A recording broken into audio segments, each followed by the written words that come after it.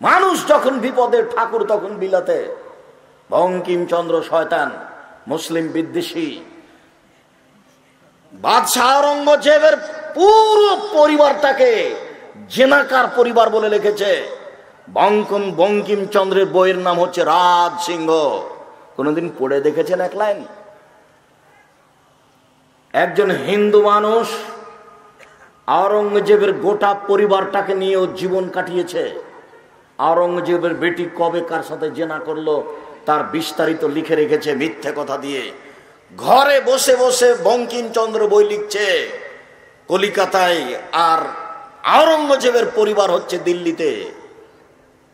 বইয়ের নাম কি? রাজ সিংহ। কোনোদিন পড়ে দেখেছেন? কোথায় তার বেটি জেনা করল, কোথায় তার স্ত্রী জেনা করল, গোটা পরিবারটাকে এভাবে কলম দিয়ে লিখেছে বঙ্কিমচন্দ্র। তার সহযোগিতায় হচ্ছে ঠাকুর, রবীন্দ্রনাথ ঠাকুর। মানুষ যখন বিপদে, ঠাকুর তখন বিলাতে। তোমাকে ঠাকুরকে ভালো লাগে, আমি আব্দুল রাজাক বিন ইসুফ কোনোদিন ঠাকুরকে ভালো বাসিনি। আমার দেহে সংস্থা থাকাকালীন আমি কোনোদিন ঠাকুরকে ভালোবাসবো না। শির করলে মানুষের অতীতের নেকি নষ্ট হয়ে যায়। এ কথা আল্লাহ তালা বলেন। আল্লাহ তালা বলেন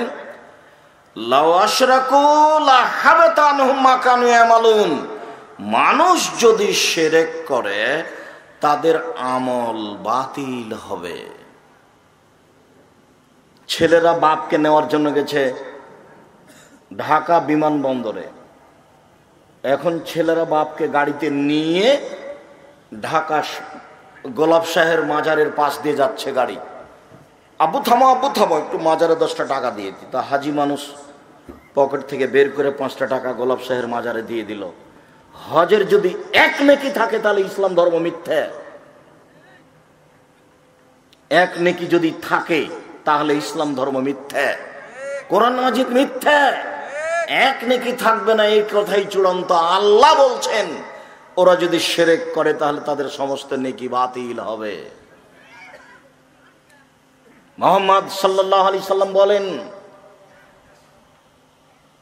মানাওয়া মুহদাসান কেউ যদি বিদাতকে আশ্রয় দেয়, বিদাত করে লায়ুক বলো আনহা আদল সার্ফ তাহলে তার ফরজ এবাদাত কবুল হবে না, নফল এবাদাত কবুল হবে না।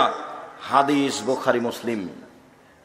মানুষ মরে মরে, যান যায় যায়, মরে মরে, যান যায় যায় তারপর সে সুরাই অ্যাসিন পড়লে আর এবাদাত কবুল হবে না। দেখি কোন মায়ের বেটা কথা উল্টিয়ে দিতে পারে, কেয়ামাত পর্যন্ত সময় থাকল। মরে মরে যান যায় যায় তার পাশে পড়তে হবে। লাহ মরার সাথে সাথে এদেশে এখনও প্রায় সব জায়গাতে আছে আহলে মসজিদে। এলাকা তো আছে। দুই হাজার এক হাজার টাকা দিয়েছে, দিয়ে মসজিদের এমামকে বলছে, একটু আমার বাপ অসুস্থ, দোয়া করে দেন। মসজিদের এমামকে টাকা দিয়ে দোয়া চাওয়া হলো বিদা। অসুস্থ মানুষকে দেখতে যেতে হবে, এটা হলো সোননাথ বুঝাতে পারিনি। অসুস্থ মানুষকে কি করতে হবে? দেখতে যেতে হবে, গায়ে হাত দিয়ে দোয়া পড়তে হবে, এটা হলো সোননাথ আর টাকা দিয়ে মসজিদে দোয়া চাওয়া হলে এটা বেদাত। দেখি কোনো মায়ের বেটা উল্টে দিতে পারে। নব্বই সাল থেকে বলছি, কে উল্টে দেয় না কেন? বলেছি, কণ্ঠস্বরে বক্তব্য চলবে না। দেখি কোন মায়ের বেটা বলে যে চলবে। বক্তব্য হবে যা খাতাবা যখন আল্লাহ রসুল বক্তব্য দিতেন অহমারা তাই না হু দু চোখ লাল হয়ে যেত? অস্তাদা গাজা বহু রাগ বেশি হয়ে যেত। ওয়ালা সৌত কণ্ঠ উঁচু হয়ে যেত। কান মনুজর যায় যেন তিনি সৈন্য দলকে ধমক দেখাচ্ছেন। এই করতে হবে, সেই করতে হবে।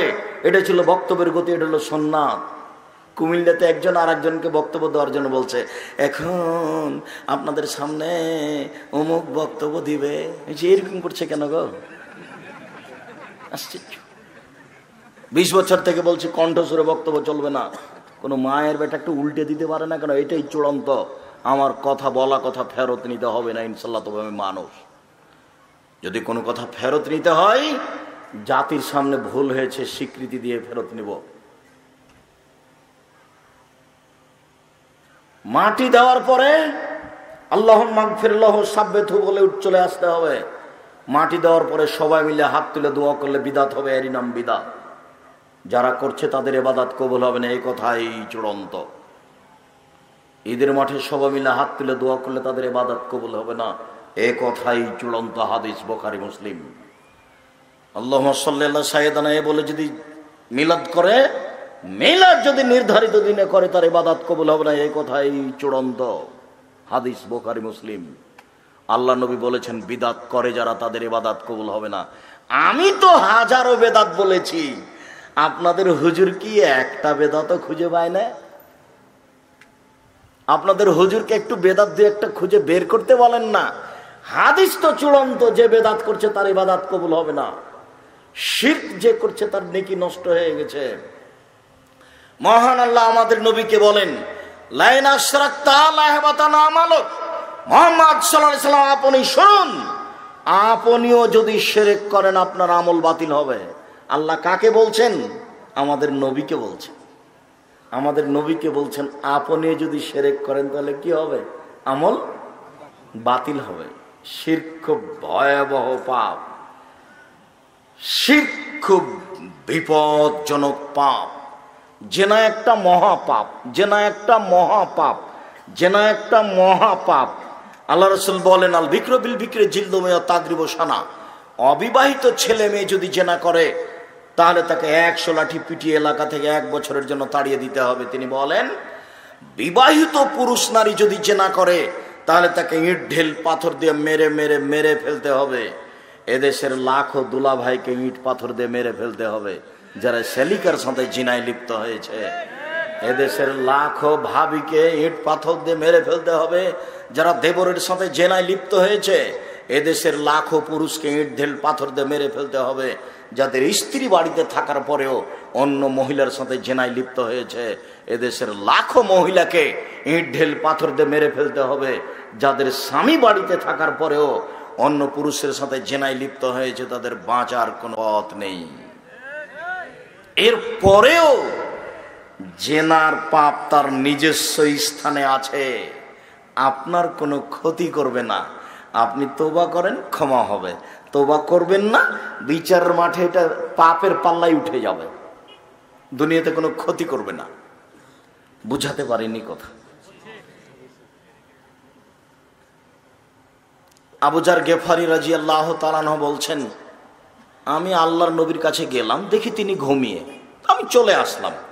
একটু পরে গেলাম, দেখি তিনি জেগে আছেন। তা আমাকে দেখে বলছেন আবুজার গেফারি, শোনো শোনো শোনো! আবুজার গেফারি শোনো। মান যে ব্যক্তি লাইল্লাহ বলবে, ও মাতা আলা দালেক আর এইটার উপরে মারা যাবে। এইটা নষ্ট হবে না। এইটার উপরে যদি মারা যায় দেখালাল জান্না তাহলে জান্নাতে চলে গেছে।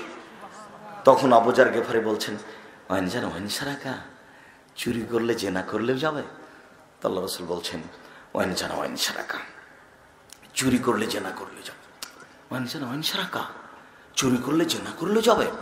ওয়াইনজান ওয়াইনসারাকা চুরি করলে জেনা করলে যাবে। ওয়াইনজান ওয়াইনসারাকা চুরি করলে জেনা করলে যাবে। ওয়াইনজান ওয়াইনসারাকা চুরি করলে জেনা করলে যাবে। আল্লাহ আবুজার আবুজারের নাক মাটিতে মিশে যাক। আমি বলছি জান্নাতে যাবে সে বাধা দেওয়ার কে, আপত্তি করার কে? শোনন, জেনা মহাপাপ বটে। কিন্তু জেনার কারণে লাইলাহিল্লাহ কেটে যায়নি নষ্ট হয়নি। ও জান্নাতে যাবে দেরি হলেও যাবে। কিন্তু কেউ যদি মাজারে গোলাপ সাহের মাজারে যায় তাহলে তার লাইলাহিল্লাহ কেটে গেছে। ওটা বাদ পড়ে গেছে এখন। যে কোনো মাজারে যে কোনো কবরে যে কোনো মাজারে যে কোনো পীরের কাছে বাচ্চা চাইলে যে কোনো হুজুরের কাছে বাচ্চা চাইলে। নিজের বাচ্চা নিজেকে বলতে হবে ড্রেনে পড়ে আছে যে সেও বলতে পারে, আল্লাহ, তুমি আমাকে বাঁচাও, আমাকে একটা বাচ্চা দাও। আর যে ঢাকা শহরের তিরিশ তলা বিল্ডিং এর একবার উপরে আছে, সেও আল্লাহকে বলতে পারে, যে আমাকে একটা বাচ্চা দাও। আল্লাহকে বলার জন্য কাউকে লাগে না। সম্মানিত দিনী ভাই বোন এইখানে যেটা আপনাকে দেখাতে চেয়েছি যে শির্ক এমন একটা পাপ ও আল্লাহকে অপমান করা হয় ও আল্লাহকে খাটো করা হয় ও দিয়ে অতীতের নীতি নষ্ট হয়ে যায় জেনা মহাপাপ, ওর নিজস্ব কোনো ক্ষমতা নেই। যদি তোবা করেন, ক্ষমা হবে। যদি তোবা না করেন, তাহলে এই পাপটা বিচার মাঠে কোথায় উঠবে? পাপের পাল্লায় উঠে যাবে।